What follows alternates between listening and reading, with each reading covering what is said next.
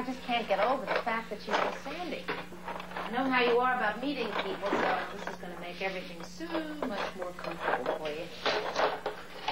Where's the damn corkscrew? It's right there on the counter. Put it out for you. Oh, why didn't you tell me instead of standing there watching me make an idiot out of myself? Hey, what's the matter? Nothing.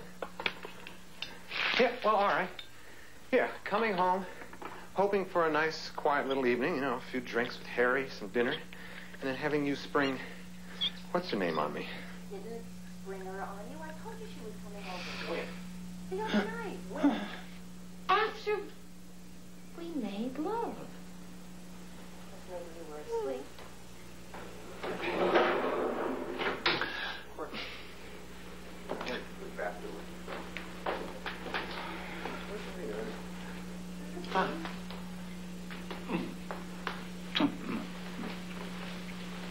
These are great. They're just great. I didn't make them.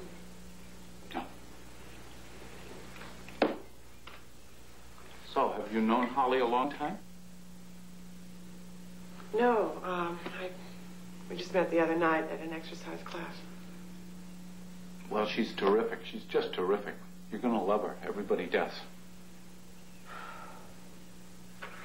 Oh, wait a minute. What, what are you doing? Are you, are you trying to set her up with Harry? Is that it? No. Sandy said she's already involved with somebody. But I have a feeling it's not very satisfying for her. Well, I don't think it's any of your business, do you? You know, don't go playing matchmaker with my friends. You know how much I hate that.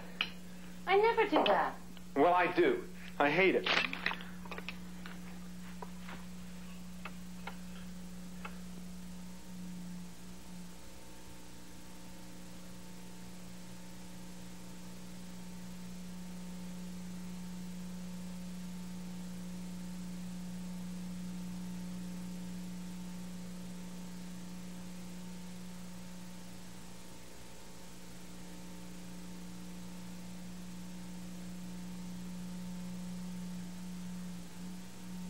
Make everything so much more comfortable for you.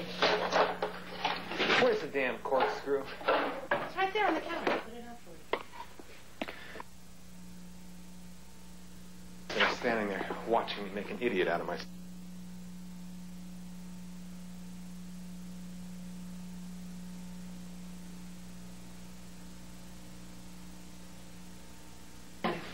Nothing. Yeah, well, all right. Yeah, coming home, hoping for a nice.